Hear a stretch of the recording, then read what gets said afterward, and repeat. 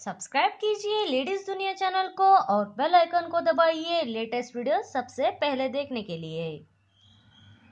Hey guys welcome back to my channel मैं आज आपको एक हेल्दी अमेजिंग और टेस्टी मेन कोर्स डिश कैसे बनाते हैं ये सिखाने वाली हूँ। तो फिर इस वीडियो को एंड तक ज़रूर देखिए। तो, चलिए शुरू करते हैं। मैंने यहाँ पे एक पैन रख दिया है गरम करने के लिए और पैन गरम होते ही around two to three tablespoon में यहाँ पे तेल डाल देती हूँ। और तेल गरम हो चुका है। अब मैं यहाँ पे गाजर और बीन्स कट करके ले लिया है। अब हम पहले गाजर डालेंगे, क्योंकि इसे फ्राई करने में थोड़ा सा ज़्यादा टाइम लगता है। तो फिर गाजर डाल दिया है मैंने अभी यहाँ पे, और इसे अच्छी तरीके से फ्राई करेंगे। इसे बीच में ऐसे हिलाना है, आप यहाँ पे देख सकते हैं, ताकि ये इवनली अच्छी तरीके से फ्राई हो सके। अब हो चुका है। गाजर अच्छी तरीके से ऑलमोस्ट हॉफ कुक हो चुका है। अब हम यहाँ पे एक बे लीफ का पत्ता डालेंगे।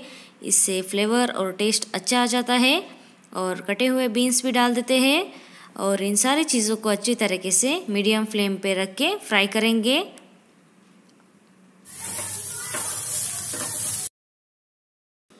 अब आप देख सकते हैं ऑलमोस्ट अच्छी तरीके से फ्राई हो चुका है। तो फिर अब हम इसे एक प्लेट में निकाल देते हैं।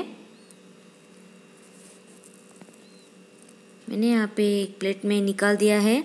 अब हम सेम पैन यूज़ करेंगे और इसमें around two to three tablespoon oil डालेंगे और ऑयल गर्म हो चुका है। अब हम यहाँ पे थोड़ा सा जीरा डाल देते हैं और कटे हुए लहसुन भी डालेंगे और इन सारी चीज़ों को अच्छी तरीके से फ्राई करेंगे। और कटे हुए प्याज भी डाल देते हैं और अच्छी तरीके से हल्का सा फ्राई करेंगे ताकि जो ऑनियंस है ट्रांसपेरेंट कलर बन जाए, तब तक इसे अच्छी तरीके से फ्राई करना है।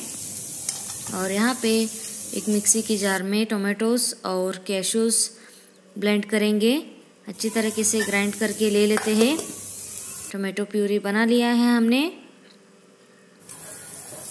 अब आप यहाँ पे देख सकते हैं, ये हल्का सा लाइट कलर हो चुका है ट्रांसपेरेंट हो चुका है ऑनियंस तो फिर जो हमने टोमेटो प्यूरे बना के रखा था, इसे अब हम यहाँ पे डाल देते हैं। और कैशूज डालने से हमारा ग्रेवी और थोड़ा सा थिक बन जाता है। और हमने यहाँ पे टोमेटो के प्यूरी डाल दिया है। अब हम इसे सारी अच्छी सारी चीज़ों को अच्छी तरीके से मिलाएँगे। अब आप देख सकते हैं टमाटोज की प्यूरी अच्छी तरीके से पक गई है। ये अच्छी तरीके से पैन से निकल रहा है तो फिर ये ऑलमोस्ट पक चुका है। तो फिर अब हम यहाँ पे थोड़ा सा नमक और हल्दी पाउडर, लाल मिर्च पाउडर और थोड़ा सा धनिया पाउडर डालेंगे और थोड़ा सा जीरा पाउडर डालेंगे। और इन सारी चीज़ों को अच्छी तरीके से मिलाएँगे। ध्यान रखिए, जब आप इन सारी ड्राई इंग्रेडिएंट्स को मिला के फ्राई कर रहे रहते, इसके अंदर थर्टी सेकेंड्स के अंदर आपको पानी डाल देना है, नहीं तो जो सारे मसाला है वो जल जाएगा। थर्टी सेकेंड्स या फिर एक मिनट के अंदर अच्छी तरीके से पानी डाल दीजिए और इसे पकने दीजिए। अब आप देख सकते हैं, अच्छी तरीके से ये बॉईल हो रहा है। अब हम इस बे लीफ को हटा देते हैं। और सारी वेजिटेबल्स को यहाँ पे डाल देंगे। गाजर और बीन्स को हमने यहाँ पे डाल दिया। अब हमने यहाँ पे ग्रीन पीस बॉईल करके रखा था, इसे भी डाल देंगे। और कटे हुए पनीर क्यूब्स में कटे थे, इसे भी डाल देंगे और इन सारी चीज़ों को अच्छी तरीके से मिलाएँगे और इसे पकने देते हैं अच्छी तरीके से।